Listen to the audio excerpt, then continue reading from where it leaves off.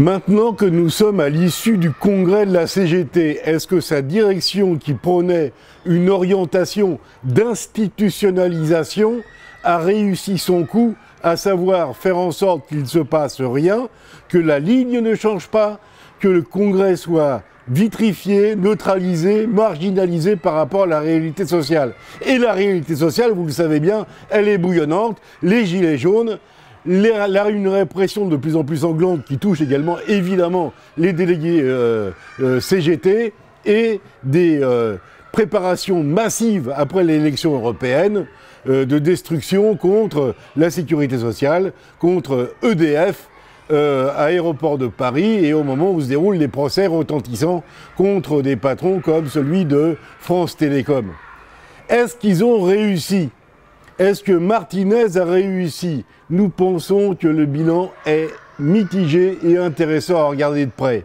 Premièrement, les délégués en majorité sont sensibles, ont les deux pieds dans la lutte de classe, sont combatifs, sont tournés vers le combat. Ils y sont bien forcés, mais ils adhèrent, ils sont attachés à cette combativité et cette expression de la lutte de classe. Il y a deux événements où euh, Martinez a pris une tôle retentissante, le premier symbolique, qui est un bras d'honneur contre les institutions CES, Confédération européenne des syndicats, et CSI, Confédération syndicale internationale, euh, où il a été opposé par la base des délégués un, un statut d'observateur à la moribonde Fédération syndicale mondiale de l'ancien bloc de l'Est, l'ancien bloc soviétique.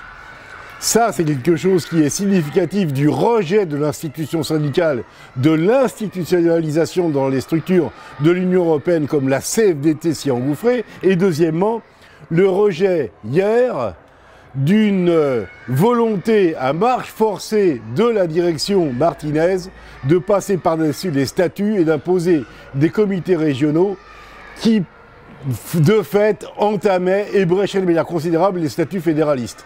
Ça a été repoussé au 53e congrès. Mais regardons, ça c'est des éléments de congrès, c'est des faits de congrès. Mais regardons l'appel qui en sort. Il a été voté ce matin, vendredi.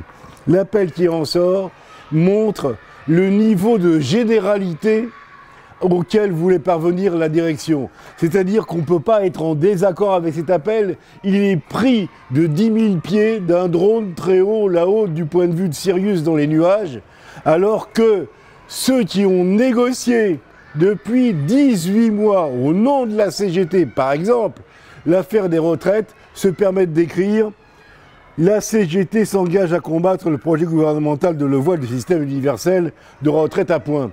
Mais qu'ont-ils négocié? Pourquoi n'ont-ils pas donné aux congressistes le texte de le voix qu'ils prétendent connaître et qui est inscrit dans cet appel-là?